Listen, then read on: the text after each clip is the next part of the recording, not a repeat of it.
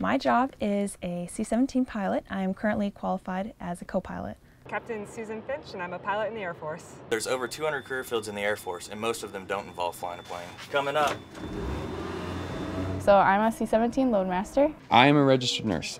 I build curriculum for maintenance training. I am a maintenance analyst. I'm a logistics officer. I'm a crew chief in the United States Air Force. And I'm an aircraft structural craftsman. I'm a fuels distribution operator.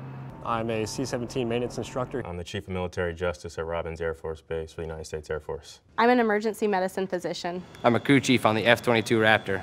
I am an aircraft armament technician. C-17 Loadmaster. I'm an aerospace propulsion technician.